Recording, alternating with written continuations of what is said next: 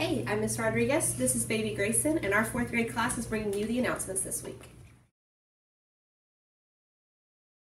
I pledge allegiance to the flag of the United States of America and to the republic for which it stands, one nation, under God, indivisible, with liberty and justice for all. Honor thee, Texas, one state under God, one indivisible. Today I will do more than I have to do. I will treat others how I want to be treated and I'll try to become a better person.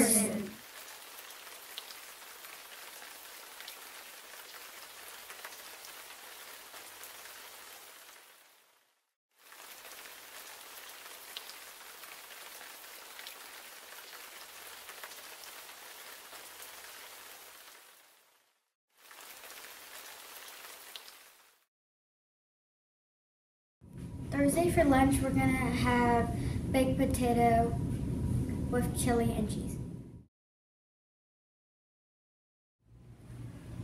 Hey guys, okay, after spring break, we are starting a super fun fundraiser. It's called Boosterthon, and this is the trivia for the week.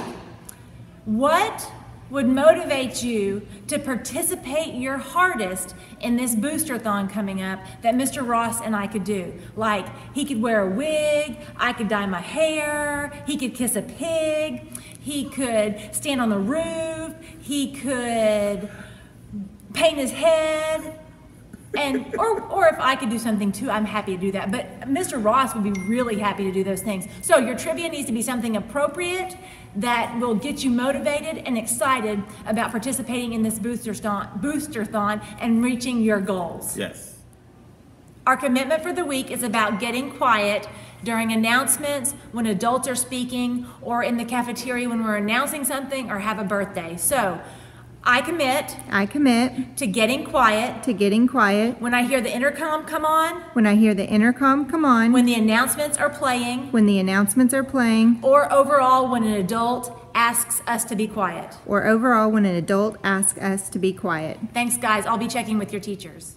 Hey, teachers, I've been hearing a lot of kids talk about some exciting things they want Mr. Ross to have to do to motivate them for the Boosterthon. Um, please watch the attached video that Miss Husky attached regarding the Boosterthon following this announcement.